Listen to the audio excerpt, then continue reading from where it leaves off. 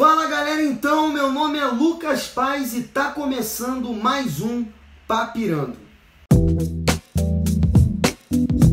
Bem, antes de mais nada, dá um like furioso aqui nesse vídeo que ajuda muito a gente principalmente a espalhar para as pessoas que ainda não viram esse conteúdo. Comenta aqui embaixo se você tem alguma dúvida, alguma sugestão. Eu respondo todo mundo. Entra no meu grupo do Telegram, o link está aqui embaixo na descrição. Eu tenho certeza que vai ajudar muito você, principalmente a tirar suas dúvidas e procurar motivação. Enfim, vou falar um pouco sobre a parte que é a mais legal do concurso, é a parte mais foda que tem, porque é a parte que você não conhece nada, você não sabe para onde você está indo, o que, que você vai fazer. Então eu vou procurar clarear um pouco as ideias de vocês, beleza? Então depois que vocês fizeram todo o processo da inspeção de saúde e também do exame de aptidão física, vocês vão lá para o período básico. Antes de mais nada, o que, que é o período básico? O período básico é o período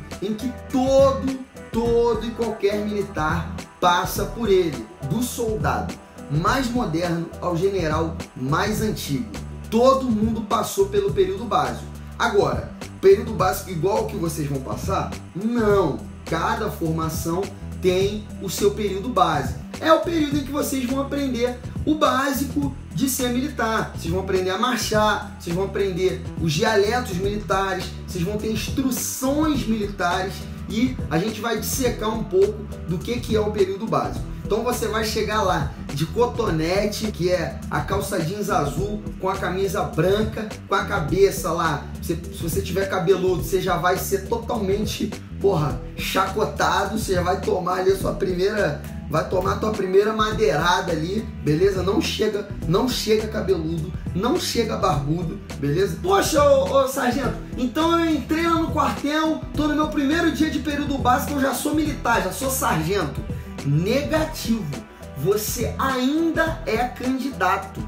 E por que, que você ainda é candidato? Porque você ainda pode ser eliminado você ainda não é um aluno. Então, lá nesse período básico, na primeira semana de período básico, que é chamado a semana zero, você já não vai mais ficar voltando para casa, você já vai ficar lá é, alojado no quartel em que você está, você vai dormir lá, você vai comer lá, você vai viver lá dentro.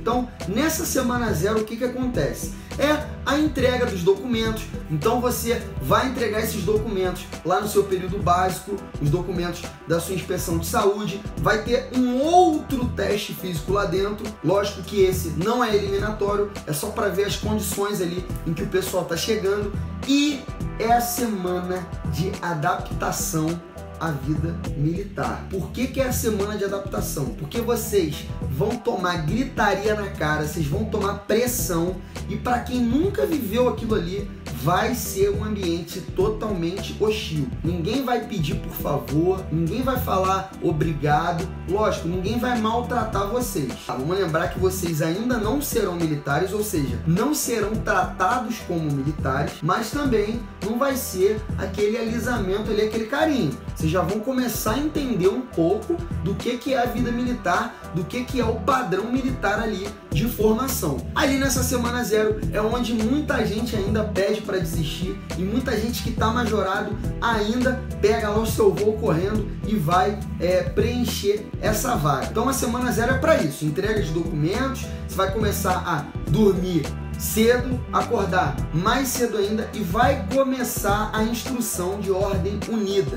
Você vai começar a aprender a marchar na semana zero. Não vai aprender a prestar continência, tá? Você ainda não, não vai aprender isso, mas você já vai começar a marchar, vai começar a aprender um pouco ali da vida militar. Bem, então depois dessa semana zero, o que, que vai acontecer? Vocês vão ser incorporados e aí sim serão alunos do Exército Brasileiro, alunos do curso de formação de sargentos. Eu vou falar um pouco da rotina desse período básico, também vai englobar para a semana zero.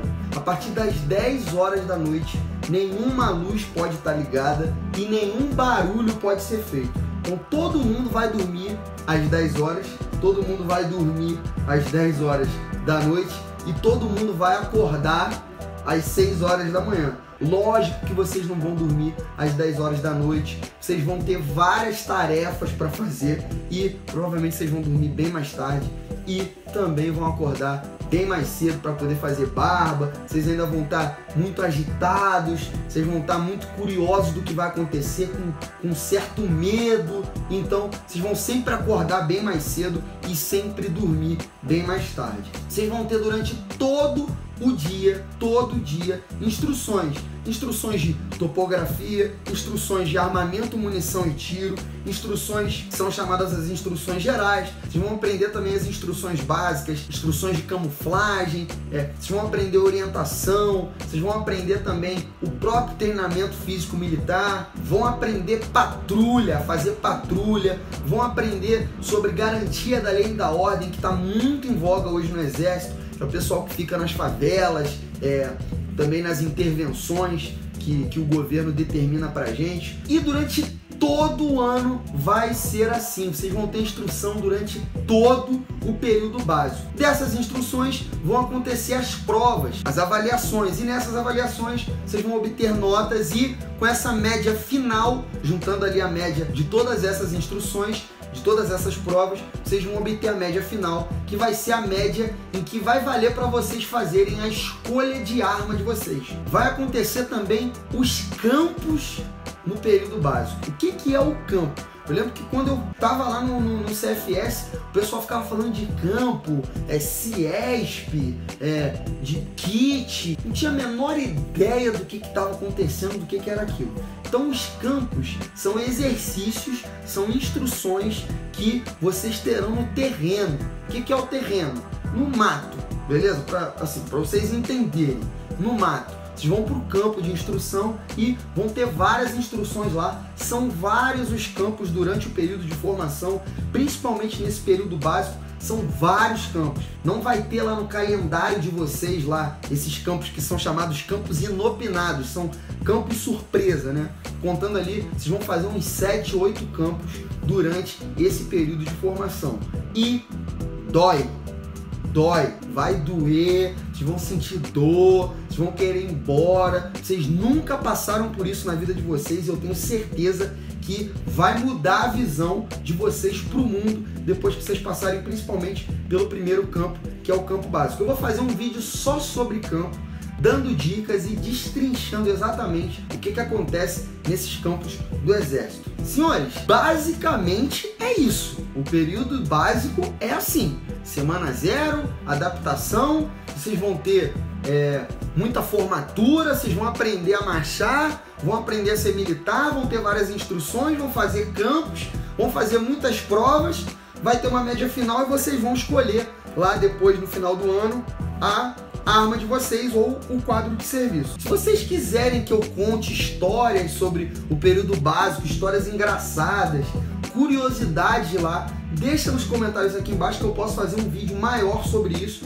e um vídeo destrinchando melhor ali o que, que acontece no período básico, alguma, alguma coisa específica ali. Lembrando também que eu vou fazer vídeos específicos sobre o campo, é, se vocês quiserem eu faço um vídeo específico sobre semana zero, o que que acontece ali mesmo, pô, de hora em hora, o que, que vai acontecer com vocês. Lembrando que de um básico para o outro, ou seja, de um quartel para o outro, muda. É, existe um padrão a ser seguido, mas uma coisinha ou outra ali muda. É isso então, galera. Se vocês gostaram desse vídeo, divulga para os amigos de vocês. Se vocês tiverem dúvidas e sugestões, manda aqui embaixo. Se vocês acham que eu tenho que fazer algum vídeo diferente. E é isso. Até a semana que vem. Valeu!